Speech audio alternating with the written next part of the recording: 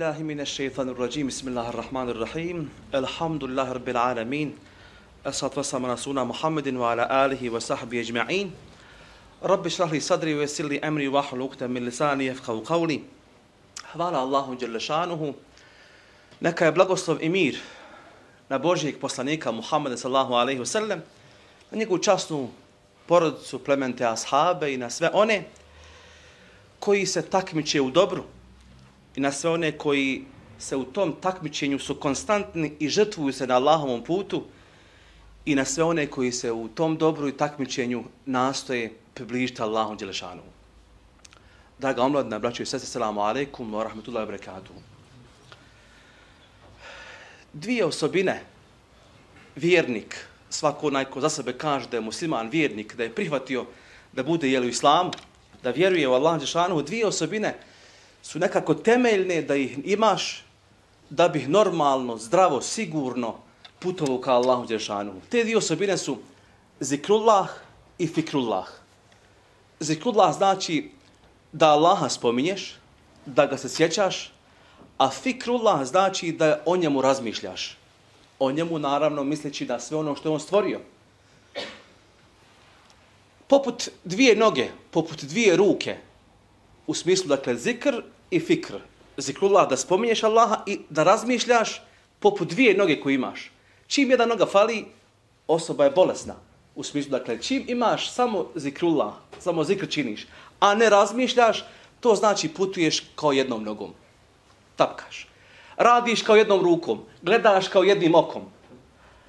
Imaš fikrullah, dakle, razmišljanje, a nemaš zikrullah, nemaš da, da spominješ Allaha, nemaš i u tom smislu, opet isto.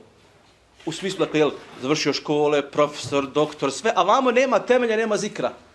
Dakle, on je kao polovičan. E da bi putovali pravim tim putem, u smislu stabilno, temeljito, sigurno, sa zikrom i sa fikrom će to biti sigurno mnogo bolje. Zikr znači da se Allaha sjećaš i kad imaš i kad nemaš. Pa ste i kad imaš i kad nemaš da zikr činiš. I kad si sretan i kad nisi sretan. I ujutro i na večer. I kad nešto dobiješ i kad nešto izgubiš. Da Allaha spominješ. I u namazu i mimo namaza. Pa ste i u namazu zikr činiš, učiš. Ali mimo namaza također da zikr činiš. I kad postiš za Ramazan i kad završi Ramazan da Allaha spominješ. Ne samo tako da u obredu, nego i kasnije. Jer vi ćete primjećati da kada je e, svaki propis, i namaz, i post, i zekijat, i, dakle, i kurban, i hađ, kaže, kad to radite, a nakon toga Allaha spominjite. Pa je bilo puno priče jel, na halkama o džumi. Pa idete na zikr, pa kasnije opet da Allaha spominjite. Poenta je da smo konstantno svjesni Allaha. Pa i večeras, da kažemo stvari koje znate i koje ne znate, ali ste u toku, u razmišljanju, u podsjećanju na ono što je inače znate i da nešto naučimo, opet smo na tom putu da svijest jačamo. Pojenta je, jer evo, jedemo svaki dan, klanjamo svaki dan. Što ne kaže, imamo samo jedno mjesto, nećemo više. A, pojenta je da konstantno radimo da bismo jačali svijest, jer samo tako možemo duhovno da obstaremo. Na kraju krajeva, da zikr činiš, kako Allah kaže u Kur'anu i Kerimu, i kad stojiš, i kad sjediš, i kad ležiš, da Allaha spomniš da razmišljaš o Allahu i onome što on stvorio i promišljaš o tome u kompletnom životu i o smrti. Da razmišljaš, kako Allah kaže, i o ovom i onom svijetu, ne samo o ovom svijetu, već i o onom svijetu. A ne samo o onom, već i o ovom. Dakle, dvostran, da razmišljaš dakle, na dvije strane, kao dvije ruke kazali smo, a? Da razmišljaš o sebi, da sebe, men arafa nefsehu fe kad arafa rabbehu, ko spozna sebe, spoznuje svog gospodara. Samo da samo zaviješ šta ima u tebi.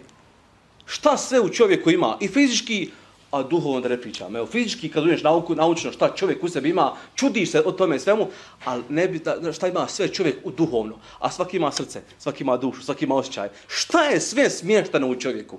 Sve u njemu smješteno. Jedno razmišljanje koje bih večeras naglasio da razmišljamo braće i sestre, a to je temelj. Odakle smo, gdje smo i kućemo. Pazite, odakle smo? To stalno se posjećamo. Odakle smo mi došli? Odakle je naše porijeklo? Gdje smo, šta radimo na ovde? Gdje smo trenutno? I kako Allah kaže, fe ejne tedhebun, pita nas, a ne odgovara. A znate li kućite? Znate li vi gdje idete?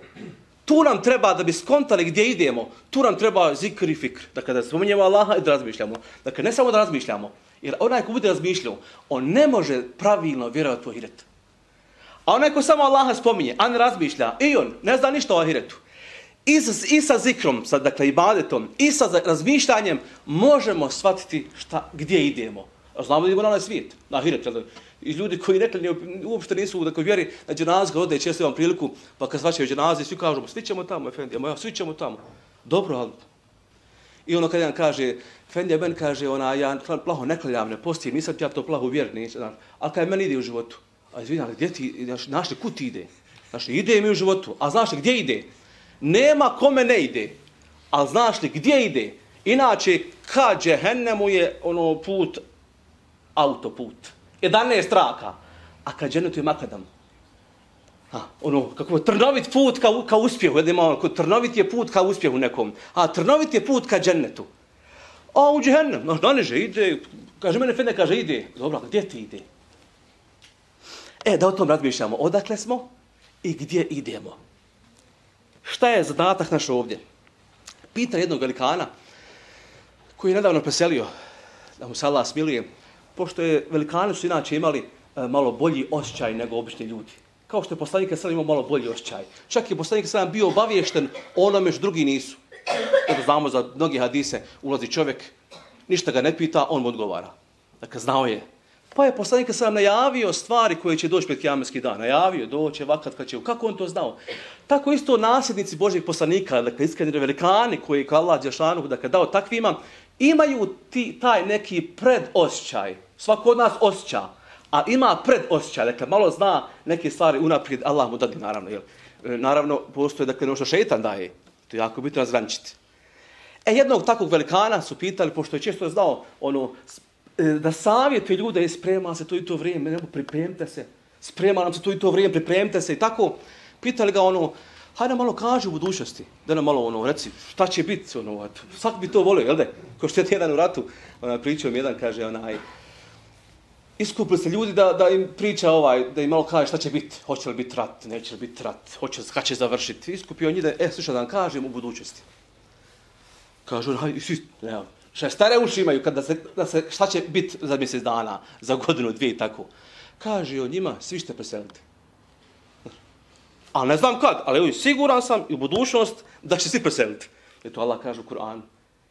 E, učeći Kur'an i Kerim, da malo vidimo gdje idemo. Znaš, ono, te stvari koje, ja ne ono da ga tamo, šta ti znači da znaš sutra ko će doći na vrata?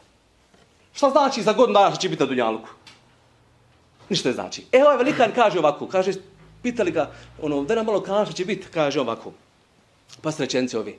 Učeći Kur'an i Kerim, Allah Đelešanuhu mi je pojasnio stanje onog svijeta. Još jednom. Učeći Kur'an i Kerim, Allah mi je pojasnio stanje ahireta. Jasno mi je. Gdje god imate tamo onaj svijet, malo vidite to stanje, malo zamislite kako će to biti. Naravno, ne možete razmišljati u smislu da vi sada onaj, kao u Dunjaluku imaju kuće, imaju, ne, ne, ne. Ali malo o tim ajetima gdje god bude onaj svijet, malo kako će stanje biti. Stanje onih koji idu putem vjere, kako će biti. Stanje onih koji neće vjeru, kako će biti. Allah je sve to u Kur'anu opisao. A nekim Allah dao od, da, da budu, dakle, da ono, ono više otkriju od nekih tako. Dva stanja ću će ja sa vama podijeliti ono kad dođemo na onaj svijet.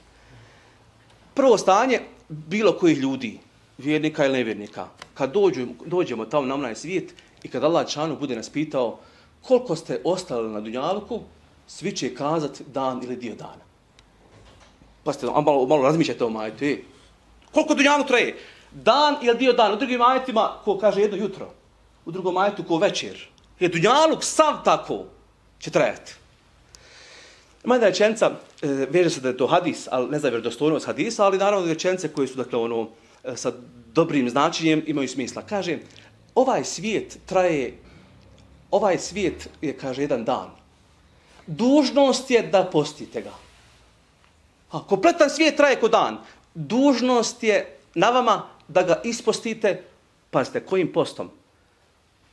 Od svega negativnog od loše misli, od lošeg dijela. Evo i sad mi postimo. Postimo od harama. Za Ramazan postimo od stvari koje su opisane ramazanski. Ali mimo Ramazana postimo, hajde nekada kažeš sebi, neću kazati tu lošu riječ. Neću prokomentarsati tu i tu u zajednici, ali loše, ja ne znam šta je. Hajde kazati, ne šutit ću. Allah spominje post Merjemin i tamo kaže kada je rodila dijete, kada je rodila Isa alaih salama, Allah joj dao kaže moraš šutiti. Bukvalno izraz je saum, saumen. Posti. Od čega? Od priče. Posti od govora. Merjema posti. Kad zapostiš od te priče da komentarišeš ono što ne znaš, ona nije mogla dokazati, znaš, nisam ja rodila, nisam ja niski imala susret, pazi, Merjema rodila sina bez čovjeka, jel? I koje ljage, koje napade na, na, na sebe, kaže Allah, kaže, ti šuti posti. Kad tako zapostiš, vidjet ćeš šta će Allah dati. Njoj je Allah dao da dijete progovorila. Znači, njoj je Allah dao nagradu da je dijete opravda. Što je rekao Isa a.s. Ja sam Isa, e, onaj, Allahov rob, poslanik, bit ću pokoran svojima i tako da znate šta je Isa selam. Svako onaj ko ima gest tog posta, ušuti da ne prekomentariši. Ono, u, u društvu govaranja, malo se isključi, neće da govara ono zaposti, dobit će neku nagradu. Sigurno, poput Marijeme, jel, ne moramo da čudanaka, ali dobit ćeš zašto Allaha zaposti tim postom. E, se vratim na ovo, dan ili dio dana. Ha, ovaj svijet je kompletan ko dan, a kad tobe dođemo, bit ćemo kod da smo bili na ovom, na ovom svijetu dan ili dio dana. Drugo stanje, doće, kaže, robovi Allahovi koji su išli krivim putem, nisu htjeli Allaha i poslanika. Nisu htjeli biti pokorni Allaha i poslaniku. I kad oni tamo dođu i kad vide to što, šta ih čeka, oni će poželiti da je Allah vrati na ovaj svijet. Kaže, ja rabi, vrati nas na, na dunjalu samo jedan dan, samo da, eto, bit ćemo dobri. Kaže Allah, nikad. Nema povratka. Kako nikad? Isto izgleda malo kod, kod Allah, jel, jel nije pravda, Allah je najpravedniji. Što? Ovaj svijet mi imamo, jel da, noć i dan kazali smo da je Dunjaluk kompletan dan. Međutim, Allah je dao noć i dan kao nako primjer da se orijentišemo. I svaku noć kad spavaš, gdje si bio? Gdje si bio kad zaspiš? Sanjaš nešto. Ne znam da ima čovjek koji, neko, koji nije sanjao. Sanjaš nešto. Kojim si očima to vidio? Gdje si sad? Kaj sanjao sam sebe tamo, probudiš se u krevetu. To su inserti ahireta. Tako možemo kazati. Kaže, Gazali da je san mlađi brat smrti. Smrt je kad skroz preselimo i duša se totalno vrati Allahu. A na snu duša izađe, ali ima ta nit jeli, gdje hoda ona, gdje bude i vrati se čovjek. Znači, ujutro kad ustanemo, Allah nas je vratio. Znaš, ima to ono kaže onaj, a dobro, Boga, ti ko se je vratio sa hirata, znaš kakana, ono, ko se je Boga te vratio to, ne ne, Pa ti se vratio. Pa kako? Pa spa, spavo, jesi nisi bio baš na hirat skroz, da, da, da, da, da Allah dušu uzao skroz, ne, ne bi se više, više vratio. Evo nekada je jedna jedna matlika kod mene preselila, on, on, samo kranila saba, le, ni ušte nije bolesna bila, samo legla i preselila, nije se probudila. Često bude bolesti od naš bolestan, pa da, ova uopšte bolesna nije bila, samo je zaspala i našli je da je preselila. Znači Allah je uzao dušu i nije je vratio. A nama vrati Allah dušu ujutru i dadne ti novu priliku, evo ti vraćen si na ovaj svijet sljedeći dan. I koliko dana je insan vraćen, nećeš skoristiti, nećeš skoristiti. I kad tamo taj koji nije iskoristio sve te dane koje živi u životu, kad dođe, kad vidi svoje stanje, kaže, ja rabi, vrati me još jedan dan. Nikad. Koliko si puta bio vraćen? Koliko si puta imao priliku, a nisi tio da iskoristiš? Kažem, neka, nema, nema povratka. A što? Jer Allah zna da oni kad bi bili vraćeni, opet bi isto postupali. Isto. Zato, iskoristimo šansu, iskoristimo priliku, iskoristimo svoje sad. Svako jutro kazali smo imamo šansu. Milost Allaha Đelešanu je neopisiva, velika. Jer svako jutro nam iznova daje priliku, daje nam šansu koju možemo iskoristiti. Ali kad propustimo neku priliku u životu, svako od nas je sigurno propustio neku priliku u životu, siguran sam. Od sebe sjećam da sam propuštao raznih prilika. Ali ne ume se kahariti čim nas Allah još drži i čim nam Allah daje da još živimo, znači Allah nam daje nove prilike. Imaš uvijek neku novu priliku. Ali sljedeća prilika, kad ti Allah dade neku priliku za nešto, sljedeća prilika ne mora biti tako ono očigledna, ne mora biti tako ono ponuđena. Jer svaka, na primjer, položio si, odnosno imao si ispit. Nisi priliku iskoristio. Drugi ispit, a tvoja raja položila. Drugi ispit i druga prilika teža. Nisi opet položio, opet nisi iskoristio priliku. Treći put teži. Pa socijalni rok, pa još teži. Pa iduća godina, tvoja raja završila, otišli, ne, ti. Svaki put dobit ćeš ti priliku, a svaka druga, sljedeća, peta prilika je teža i teža. Što? Jer ti si navikao da ne iskoristiš, da prilike ono propuštaš. I ti se uljuljko. Uljuljko si se, začahurio si se, pa hajde Boga ti, hajde, bit će druga, hajde sutra. Znaš, ona nada. Jer šeitan najviše nadom napada. Znate poznatu predaju kad je objavljen ajet, Allah će sve oprost, samo se pokajte. U suri Zumer. I onda je šeitan sakupio svoje šeitane i pitao ih, onaj, imamo kaže, veliki problem. Allah je spustio ajet na Dunjaluk, kao robovima svojim, da sve će oprost, samo ako se pokaju. Mu kaže, problem. Mo kaže, prijedlog da to, kako ćemo to, kaže, odmah ja prijedlog ništa kaže. Ifrit se javlja i kaže, ja predlažem da im, kaže, nadu, ono, ulivamo u njihova srca. Kao dobar ti kaže prijedlog. Kaže, objasni, ono, taj svoj prijedlog, malo ga razjasni. Izloži ga. Kaže da ih navraćamo da ne izgovaraju estagfirullah. Da se nekaju. Eto, da, to da radiš. I onaj ko nema običaj kajanja, ko nema ono, tu, tu neku bol kad nešto uradi, loše da se kaje, zapamti, on će lahko propustiti razne prilike u životu. Dolaze mu prilike, dolaze mu vozovi, ali on propušta. E, izgovor estagfirullah, kajanje koje ti Allah da, da, da se stalno kaješ, da imaš tu naviku od kajanja, da imaš poslanika sram, sram, deset puta se dnevno kaju, šta od čega? Znači, konstantno, nema da griješiš, ne griješiš li, svako od nas griješi, da, da, da se razumijemo, ali kad manje, kad više griješiš, kaj se Allahu, jer to kajanje će učiniti da iskoristiš prilike koje te Allah nudi, koje te Allah šalje. Neće propuštati te prilike. Poznati hadis, jel de, koji ja mislim da je iz ovog mihraba puno puta kazan. Samo da ga povežemo uz, uz ovu temu. Iskoristi mladost prije starosti, slobodno vrijeme prije zauzetosti, iskoristi onaj zdravlje prije, prije bolesti, iskoristi život prije smrti. Iskoristi to da kad dok imaš, iskoristi to. Poslanik sam vam kaže, iskoristi. E, to, je te, to su te prilike o kome pričam. Iskoristimo, braćo i sestre, ovo svoje sad. Razmišljajmo o sad. Sad. Već je ovo sad prošlo. Pazi ovo. I svakom je Allah dao svoje sad. Mi ćemo u svom sad preseliti kad dođe naša sad. I mi smo u svom sad se rodili. I tad je bilo sad, je tako, nekome. I nama je bilo sad kad se rodili. I život je satkan od trenutaka sadašnjih. Šetan nastoji samo da te izvuče iz, iz sadašnjeg trenutka, da te ubaci u prošlost i budućnost. To je šetan zadatak. Samo da razmišljaš, ma sutra ću, preko sutra ću, znači, imam tu i nade. Ili samo da razmišljaš o prošlosti. Pusti nek ti prošlost prođe. Nek ti prošlost prođe, pouku izvuci, pokaje se, hajde dalje. Isto prošlost isto kao onaj, kad voziš auto ili televizor. Samo koristi je da ne bi kog pukao sa, sa, sa, sa, zada.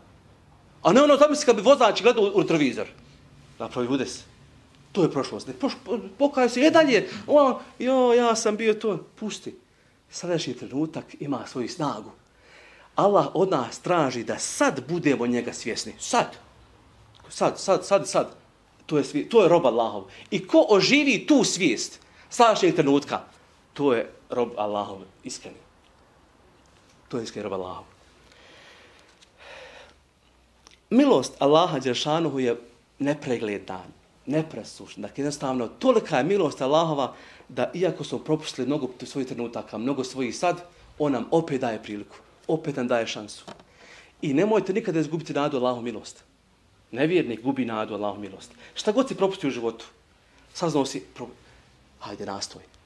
Priliku, popravak.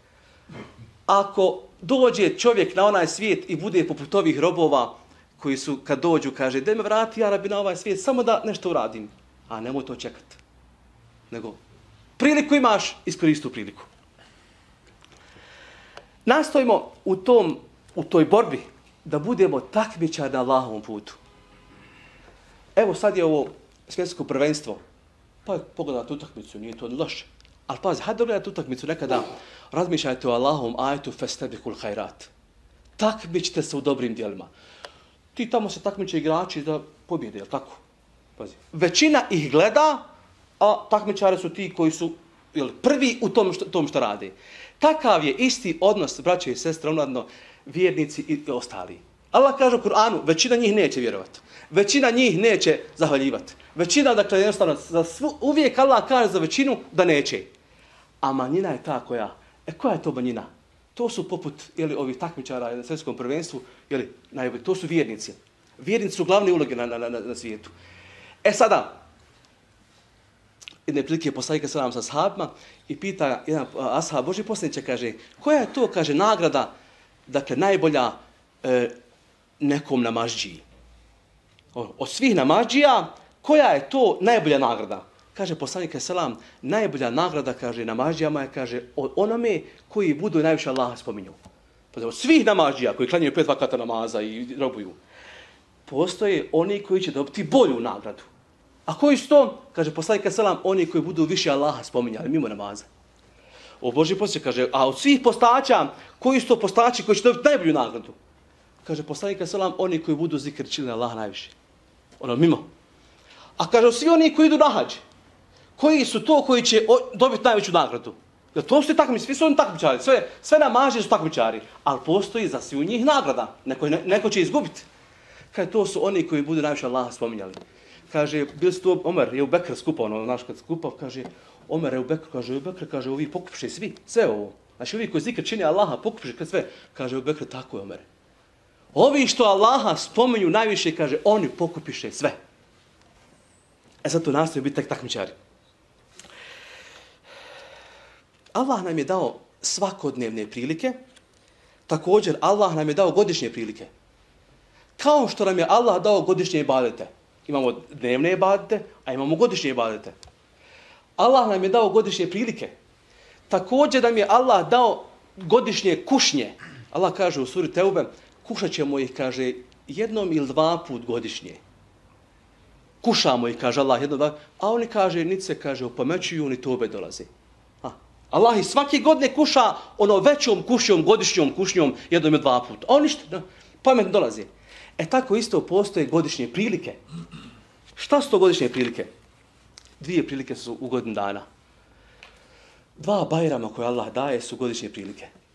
Jer bajram nije samo da bi kolače jeli. Bajram nije samo da bi jel da se veselili. Tu se veselimo, naravno, bajramujemo, to je to je našno. Ali čemu se veselimo? Čemu bajramujemo? Šta je to bajram? Bajram se kaže na arapskom Eid. A poruka te riječi je u korijenu ponovi nešto iz početka. Nešto si radio, haj sad kaže iz početka ponovi. On Arab kad kaže nekome nešto uradio, na primjer šutno loptu, kaže mu Eid, ponovi. Znaš ponovi. Znači, Eid, Bajram, znači kad dođe Bajram, živio si nekim životom, hajde sad, evo ti Bajram, nastoji iz početka živjeti. A nakon kojih dana je koji Bajram? nakon Ramazana i velike prilike čišćenja Ramazanskog, Allah daje Bajram. Da ti kaže, onaj prijašnji život, hajde sad iz početka. Prilika ti je. I kad iskoristiš tu priliku, to je radost. To je Bajram. Ovaj drugi Bajram je u Zulhidžetu, 10 dana posebnih, koje Allah se kune tim danima, dolazi opet Bajram, i opet poruka ista, haj počni iz početka. Haj počni iz početka. I hadis koji je, evo, u Buharinu, zbic hadisa, ili hadise koje čitamo, je na tom fonu govori o kurban, baj, baj, baj, odnosno hudbi bajramskoj, govori o kurbanu i govori o tome šta, šta onaj mi treba da radimo u tom danu prvom, naš. Da bismo iskoristili tu priliku. Ali prije nego što pročitamo taj hadis na arabskom jeziku, prućemo, jeli, Dovir Fatihu, velikanu Buhari koji nas se obučava non stop i molimo Allaha da mu se smiluje, da mu grijehe oprosti, da budemo u njegovom društvu dženetu, pa evo da proćemo en Fatihu na ruh uh, Buhari. El Fatiha.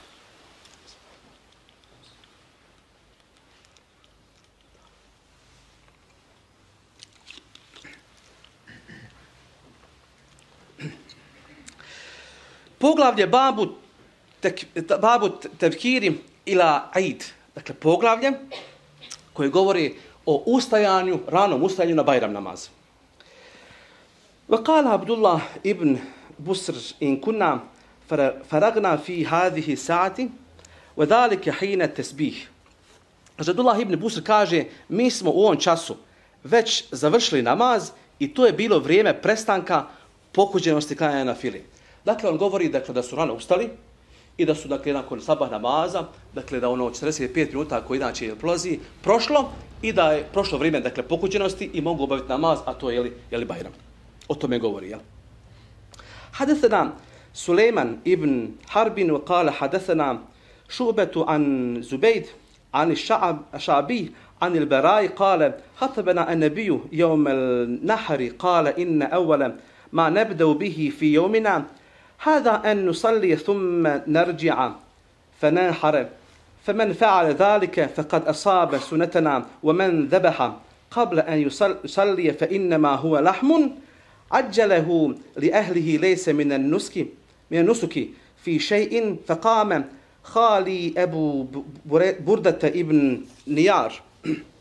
فقال يا رسول الله أنا ذبحت قبل أن أصلي وعندي jaza'atun khairun min musinnatin qala ij'alha makanaha aw qala izbahha wa lan tajziya jaza'atun an ahadin ba'd ba'dak aw kama qala. Kaže priča nam je Sulejman ibn Harb njemu Šube prenoseći od Zubejda on od Šaabija a ovaj od Berraa koji je rekao Vjerovjesni sallahu alaihi ve sellem držeći hutbu na Bajram, na Kurban Bajramu, rekao je, prvo čime počinjemo obred u ovom našem danu je da klanjamo. Onda se vraćamo kući i koljemo kurbane. Pa ko bude tako radio, pogodio je naš pravac, kaže poslanik Esram, dakle to je moj sunnet. A ko je zaklao kurban prije nego klanja Bajram namaz, to je samo obično meso koje je kao i ranije pribavio svojim ukućanima i to nije nikakva bajramska žrtva, nije kurban, jel? Tada usade kaže, moj amiđa, moj dajđa, Ebu Burd ibn Nijad i kaza, o Allaho poslaniće, zaklao sam ja, ja kaže, prije nego sam klanjao. Ja sam to uradio, zaklao sam. Ali imam, kaže, mladu od osam mjeseci kozu koja je bolja od jednogodišnjeg bravčeta, ono, već je porasla, mogla bi biti ono, kao veličinom kurban, jel? Kaže poslanika selam učini je kurbanom umjesto bravčeta. Ali je rekao za kolje, ali tako mlado od osmom kaže mjesecu koze kaže neće biti poslije tebe više nikome dozvoljeno. Ovo je propis naravno, ili e, koliko treba da bude kurban star godina dana i tako, to su ti propisi, ili ako zakolje prije Bajrama nije kurban, nego se postoji tačno vrijeme kad se nešto radi. Isto kao i tačno vrijeme kad se, najbolje se ženiti kad se treba ženiti. Može i kasnije, isto koji kurban. Ali kad je vakat, najbolje je, jel? Kad se uči, znaš, no, iskoristi tu priliku, može i kasnije, ali tad je ta prilika. I tako sve u životu. Tako je ovaj kurban, vidi. Može, dakle, pravilo je da jeli, bude toliko staro godinu dana. Međutim, ako neko to nije uradio, evo kaže, ali nakon toga ne može niko biti dozvoljeno. Osim opet, jeli, u uzimim situacijama. Nekoliko poruka ovoga, ovoga hadisa. Vidite, poslanika je selam u tom najvažnijem danu, Bajram, u tom najvažnijem govoru, hutbi Bajramskoj, na Musalli, gdje su prisutne žene. Pa sad je unio poslanika salam na jednom mjestu i žene prisutne. Vidite šta kaže poslanik salam. Prvo ono što ćemo uraditi u ovom danu je da klanjamo. Prvo ćemo klanjati. Prvo ćemo Allahu pas na seđu. Pa ćemo se kući vratiti. Šta znači prvo ćemo vratiti? Znači, u ovom danu ćemo to prvo uraditi. A zapamte, nije ovo samo ovaj dan. Imate druge dane. Prvo što u životu ujutro trebate uraditi je Allah pa se. To je prva stvar. Kome bude to prva stvar u životu? Zapamti, to je prvak. To je onaj sa najboljom nagradom. Da svaki dan planeš Allah na seđu. Šta kaže ovdje dalje? A onda kad to uradimo, vratit ćemo se kući. Svaki ajet u Kur'anu i svaki hadis poslanika je selam e, ima svoju drugu dimenziju razmišljanja. Da kažem, početi smo ders, razmišljajte. Malo i daš. Isto kao što čovjek ima svoje tijelo, ima svoju dušu, ima svoje dakle, nevidljivo značenje. Pa ovo, kaže poslanik je selam, a onda ćemo se vratiti kući. Sjetimo se kad smo kazali da dunjalu traje dan. Prvo što ćemo raditi u tom danu je da se Allah pokorimo. Kaže Allah Žanuhu, nisam stvorio džine i ljude osim da mi robuju pa tamo ajetima i na početku i na kraju i ujutro na večer, dakle konstantno da Allahu budu pokorni. A onda kaže poslanik Selam kad panemo Allahu na sežu taj dan, kad klanjamo namaz, vraćamo se kući. Normalno, na ovom svijetu kući ćemo otići pa ćemo klati kurbane. Međutim, vratit ćemo se kući u, u izvornom porijeklu. Mi smo porijeklo iz dženneta.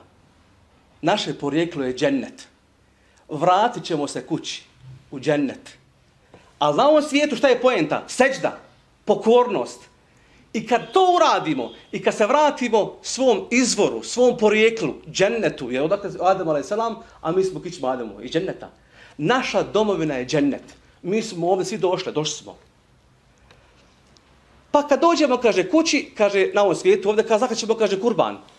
Šta je kurban? Kurban je, dakle, posebna tema koja ćemo, jel ti bilo bi dobro da, da se posebna tema o tome govori, međutim, evo dvije poruke kurbana. Kurban je žrtva i približavanje. Harib, od toga je riječ kurban, znači biti blizu. Ha, blizu. I mi kurbanom žrtvu činimo, kaže poslanik selam, vraćamo se kući pa ćemo učiniti žrtvu. Zbog čega žrtvu? Da se Allahu približimo. Kad se vratimo kući, želimo da sretnemo Allaha. Svi će tad biti bliski Allahu. A neki će klećat i moliti da je Allah vrati na dunjaluk, a neki će kanst, Elhamdulillah, hvala ti Arabi na ovom danu. Zato koljemo i kurban kao poruku i žrtvu. To je samo kao kurban koji kolješ. Da se inače u životu žrtvuješ za vjeru. Da se žrtvuješ, da misiju poslanika sa vam širiš. Da bratu pomogneš. Da se žrtvuješ da ovo stanje bude bolje. Da se žrtvuješ da ovaj džamija, kuća bude bolja. Da ne pričamo šta sve možemo žrtvovati na možem putu. Sve sa ciljem da se Allahu približimo. To je poruka kurbana. Jer tako kaže poslanik selam, ako neko zakulje prije Bajrama, to je obično meso. A kada Allah spominje kurban u Kur'an i Karibu, suri Hadž, kaže svakoj zajednici smo, kaže Allah, propisali klanje kurbana. Da biste Allaha spominjali. Evo ga opet, isto. Odmah dole ispod, u istom, dakle, na istoj stranici u suri Hadž, Allah kaže, e, ni meso, ni krv neće Allahu doći. Allah, nego vaša dobra djela. I opet u nastavku, Allah ih vam je počinio, životinje, da biste Allaha veličali. E, I kurban koljemo opet s tom namjerom. Žrtovanje, da iskoristimo priliku da što više Allaha spominjemo. I svako dijelo koje radimo, da budeš bismilom, da budeš žrtva na Allahom putu. Ne samo kurban, kurban, samo je to kurban kao jedna, jedan ono podsjetnik na žrtvu u životu. Jer suštinski kurban, odakle nastao? Nastao je od kušnje Ibrahima, ne sam, za svog sina. Nije, pa ga je Allah zamijenio tom. I on je pokazao spremnost da je na Božijem putu spreman iz, iz jedan zaklat. Pitanje za večeras ovdje. Šta smo jajeti spremni na Allahovom putu raditi? To je kurban. Kad to odgovorimo, da si spreman nešto uraditi na Božijem putu, kulješ kurban. Imao para za kurban, nemao para za kurban, Allah će ti kabul, samo ako si spreman da žrtvuješ svoje slobodno vrijeme, svoju mladost, svoje sposobnosti, svoje znanje na putu Božijem. Ako žrtvuješ, time se Allah približavaš. I kad se domovini svoju vratiš u džennet, bit ćeš dočekan u blizini Allahovoj. U blizini poslanika selam, u blizini, dakle, ashaba poslanika sallahu sallam. Zato kaže poslanik sallallahu kao podsjetnik. Prvo ćemo klanjati namaz, na sećdu pasti, pa ćemo se vratiti kući, pa ćemo kurban zaklat. Ko tako bude uradio, kaže poslanik selam, to je moj pravac. To je moj sunnet još samo jednu stvar da spomenem, za, zašto je poslanik sam kazao, to je moj sunnet. O, Enese, kaže poslanik selam, ako i kako mogneš kad omrkneš i osvaneš, da u tvom srcu ne bude koliko truje mržnje, to je moj sunnet. To je moj pravac. Da ono kolješ kurban, bismillah, ja rabbi, mrzim komšiju. Ja rabbi, pomozi me da se, da žrtvujem svoju mržnju. Imam lošu misao po bratu sestri. Kur, ja rabbi, daj da zakoljem tu lošu misao. To je kurban imam naviku, sam pasivan. Ja rabbi, pomozi mi da to, da to kod sebe, da, da, da ostranim kod sebe to. E, to su te kurbanske, kurbanske žrtve. A ako neko u tom trenutku bude uradio to prije, obično meso. Jer što? Jer je Allah propisao određeno vrijeme. Isto ko namaz. Ja će namazio do, do sabaha. Možeš ti to kasnije naklanjati. Ali nikad se to vrijeme namaza vrat neće. Akša bi sad upogodio zimi, jel da? Kratko vrijeme taj Akšam iskoristio to njegovo pravo, pravo vrijeme njegovog sad. Iskoristio si. Naklanjavanje, dakle, naš, ne može biti, jel, ono, ono, ne, dakle, ja ti van na filu, ali, ali ono pravo vrijeme je, jel, tad.